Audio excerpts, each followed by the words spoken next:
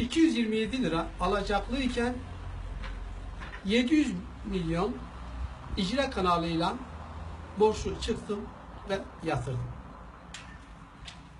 Ben kasabım ama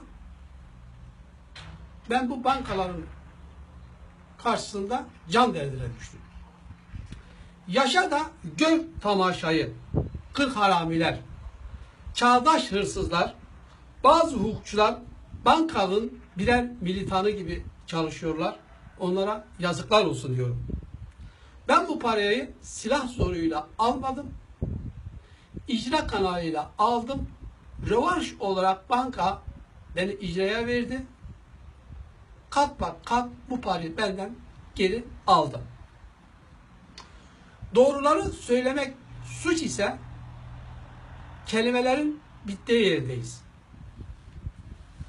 Mu bankalara dur diyecek bir makam?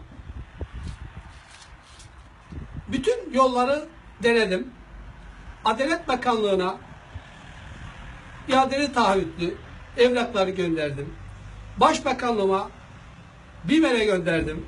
BDDK'ya gönderdim. Cumhurbaşkanlığına gönderdim.